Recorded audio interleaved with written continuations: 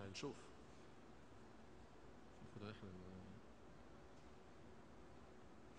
مشاهدينا وحضورنا الكرام أهلا بكم في هذه الحلقة الحوارية الخاصة من المنتدى الإعلامي العربي الثامن نقدمها لكم من دبي وتقدم على تلفزيون بي بي سي العربي على برنامج أجندة مفتوحة على إذاعة بي بي سي على برنامج حديث الساعة وأيضا على بي بي سي Arabic dot com. منذ أسابيع توجه النائب والسياسي اللبناني وليد جنبلاط لأداء واجب العزاء في إحدى القرى. وأثناء الحديث قام أحد الأشخاص بتسجيل هذا الحوار الدائر على آه، تليفون محمول. وبعد لحظات انتقلت مقاطع من هذا الحديث إلى شبكة الإنترنت وإلى محطات تلفزيونية وتسبب هذا الأمر في جدل سياسي وحراج وحراك سياسي. ونوع من التوتر السياسي في لبنان في أعقاب هذه الملاحظات التي نقلت. تم تسوية المسألة لكن في الوقت ذاته أيضا كانت هناك في بريطانيا مشكلة أخرى. آه، في أعقاب المظاهرات أو أثناء المظاهرات التي حدثت في قمة العشرين توفي شخص في آه، المظاهرات. آه، وفي البداية كان التصور أنها كانت أزمة قلبية لكن تسرب مقطع فيديو إلى صحيفة الجارديان البريطانية. هذا المقطع كشف أن الشخص الذي توفي أثناء المظاهرات كان بائع صحف متوجها إلى منزله ولم يكن له علاقة بالمظاهرات وحدث اعتداء عليه من قبل أحد رجال الشرطة ضربه بهراوة. آه، دقائق قبل أن يتوفى. هذان المثالان يوضحان بشكل كبير.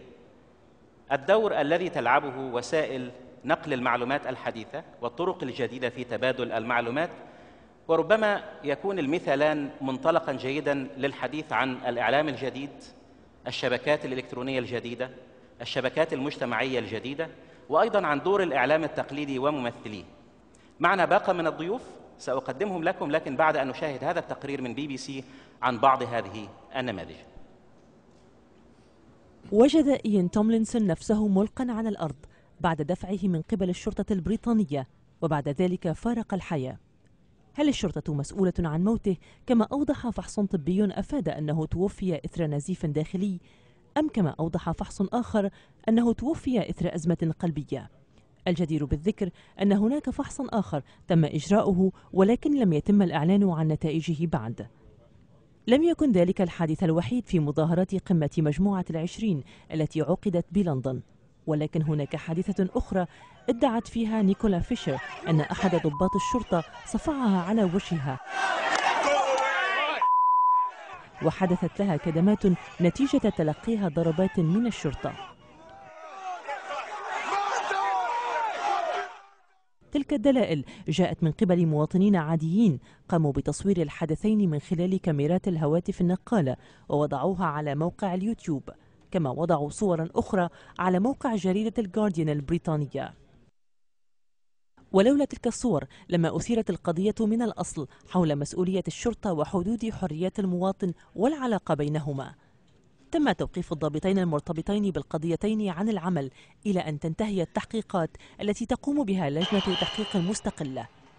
وتسلط تلك الحوادث الضوء على دور المحتوى المعد من قبل المستخدم في تحريك الأطراف المعنية للوقوف على الحقائق.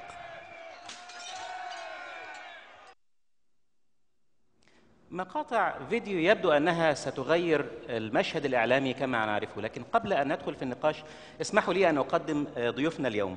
عصام حمود المدون الجزائري وكما يعرف نفسه على ال blog الذي كتبته في 5 مايو أنت أصغر المشاركين معنا اليوم وربما الممثل الوحيد للمدونين. أعرف عنك حاجات كتير غير كده أنت بتشرب شاي وتحب الغريبية من قراءة المدونة. معنا أيضا السيد حسني الخفش.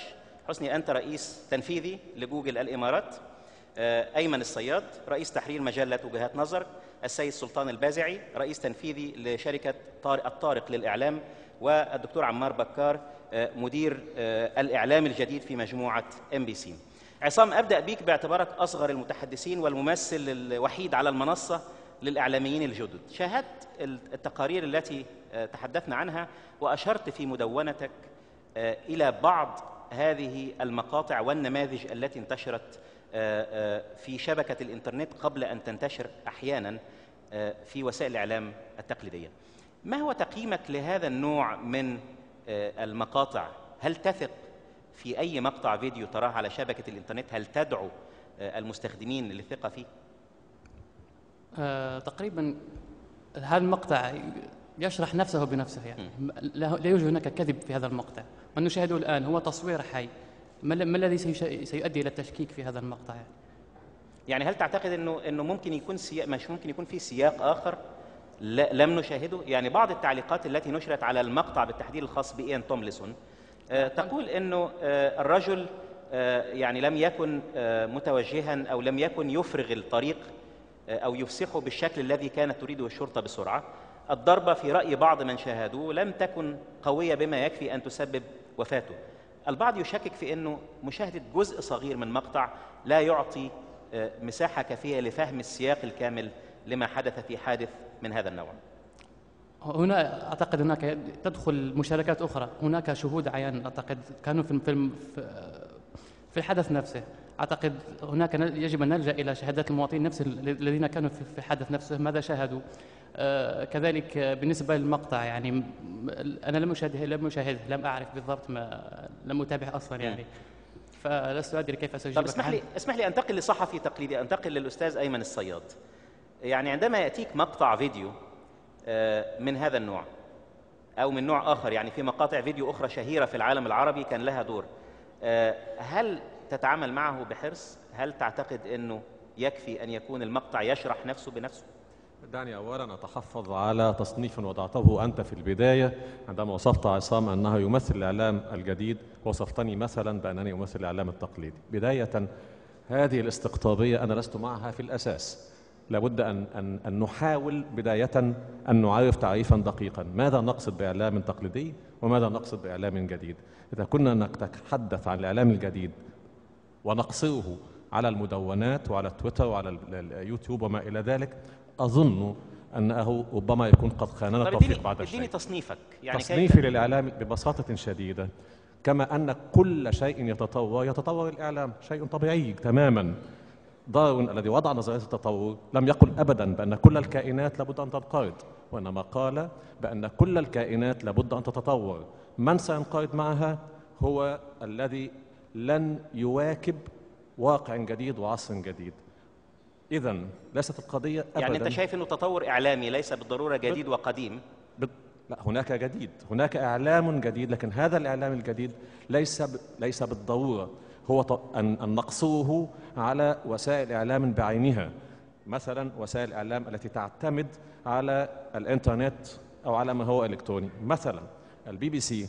بماذا نصنفها؟ هل هي إعلام جديد أم إعلام قديم؟ أنا أصنفها أنها إعلام جديد، لماذا؟ لأنها ببساطة شديدة وسيلة أدركت وقائع عصر جديد وعاشته بمتطلباته إذا هي إعلام جديد يعني هذا تحفظ مبدئي إذا عدنا للسؤال لا هرجع للسؤال لكن طيب. يعني قد يقودنا هذا إلى نقطة اشارها السيد سلطان البزعي في في أكثر من حديث له وفي محاضرات ومداخلات سابقة في أماكن أخرى. آه، أنت ترى إن هناك فرق جوهري إذا لم تخطئني الذاكرة في من يقدم هذا الإعلام؟ آه، شكرا حسام أنا أعتقد ال- مسألة وصف الإعلام الجديد هو أولا إعلام هناك رسالة إعلامية. الجديد فيه ليست الوسائل فقط. الوسائل الآن هي الوسائل الرقمية. واقع الأمر ما حدث هو انقلاب في المعادلة الإعلامية في نظرية الاتصال. آه، تعودنا أن نعرف أن هناك مرسل ورسالة ومستقبل والمستقبل هو القراء مجموعة الناس. ويتكرم بعض منظري الاتصال عليهم أحيانا بالسماح بما يسمى رجع الصدى والفيدباك والذي ينشر في بعض الصحف كرسائل إلى رسائل. قراء أو برامج يستضاف فيها الجمهور الذي للحديث عن الذي. حدث الآن هو أن المستقبل أصبح مرسلا وأصبح هناك ما يعرف بالمحتوى المعد من المرسل user generated content هذا الذي جعل آه، كل كل من يملك وسيلة اتصال